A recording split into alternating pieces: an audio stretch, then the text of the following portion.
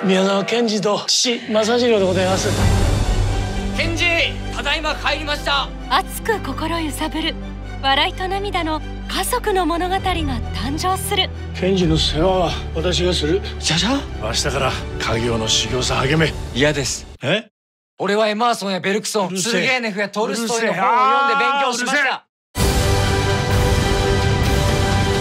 銀河鉄道の父。